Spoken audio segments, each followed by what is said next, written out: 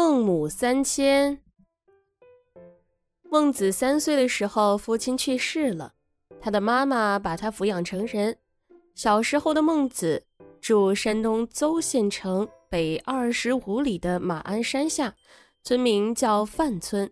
村不远有一片墓地，出殡的人群常从孟子家门口经过，于是孟子就模仿送殡的人。孟母看见了，就把家搬到城国北部的庙户营。可是这里街上相当繁华，东部住一个杀猪屠户，孟子就学屠户的样子，整天玩闹。孟母感到这里也不适合培养孩子，便又带着孟子搬到书院旁边。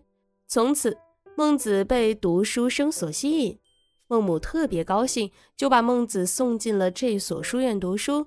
他勤奋读书，终成大儒。